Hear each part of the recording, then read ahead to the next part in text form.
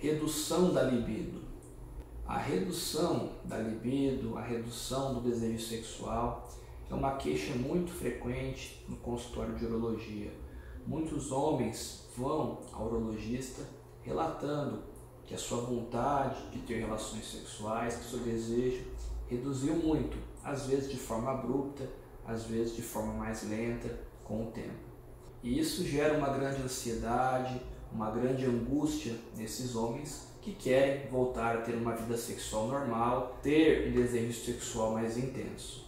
E no vídeo de hoje eu vou estar explicando para vocês cinco causas de redução da libido, cinco situações que acabam gerando uma redução do desejo sexual do homem. Eu sou o Dr. Petrônio Mello, sou médico urologista e é sobre isso que a gente vai estar falando no vídeo de hoje.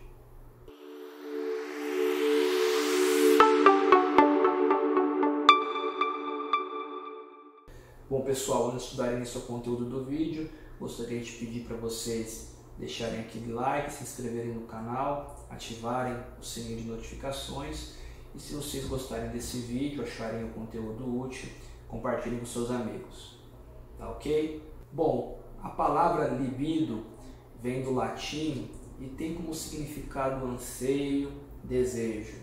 A libido é caracterizada pela energia aproveitável para os instintos da vida. E esse termo é utilizado para representar a manifestação da sexualidade, do desejo sexual. E existem algumas situações que essa libido, que esse desejo sexual vai estar bastante reduzido, vai estar bastante ruim nos homens. E eu vou estar listando para vocês hoje cinco causas de redução da libido. A primeira causa de redução da libido seria uma deficiência hormonal, uma deficiência dos andrógenos.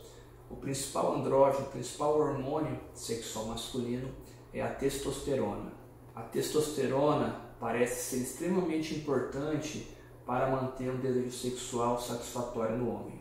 Apesar disso, os níveis de testosterona não parecem ter uma relação linear com o desejo, isto é, quanto maior o nível de testosterona, maior a libido. Não, essa relação aparentemente não existe, principalmente em homens mais idosos. Não existe uma relação linear da testosterona com a libido. Entretanto, sabemos que esse hormônio é extremamente importante para a manutenção do desejo sexual normal no homem e quando esses níveis estão baixos, essa testosterona está reduzida, a libido também fica comprometida, ocorre uma perda da libido. Um segundo fator que pode levar à redução da libido é uma condição chamada hiperprolactinemia. O que é isto? É um aumento, uma quantidade grande de prolactina, que é um hormônio circulante no nosso corpo.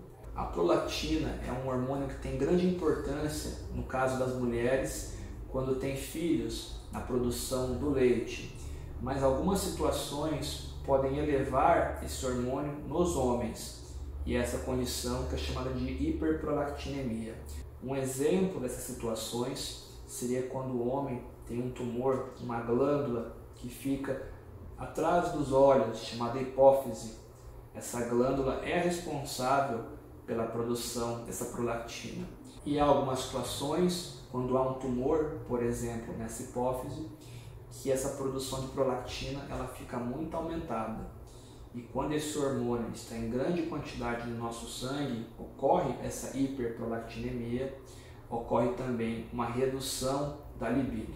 Então seria também uma das causas de redução do desejo sexual no homem. Uma terceira causa de redução da libido seria o próprio envelhecimento. Quanto mais velhos vamos ficando, ocorre uma redução da libido.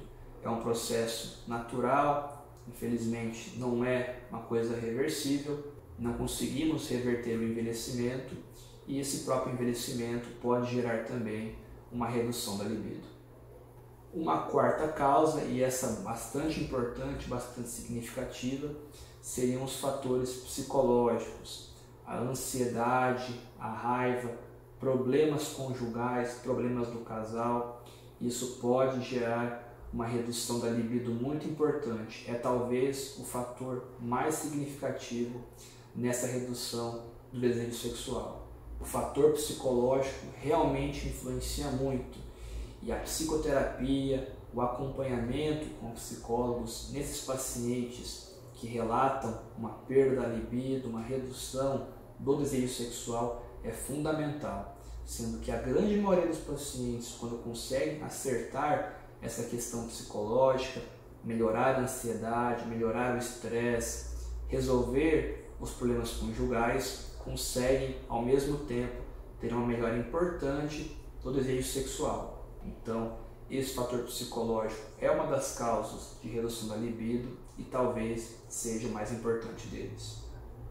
E uma quinta causa de redução da libido seriam problemas cardiovasculares, como doenças coronarianas nas artérias do coração, problemas vasculares no cérebro, como sequelas de AVC.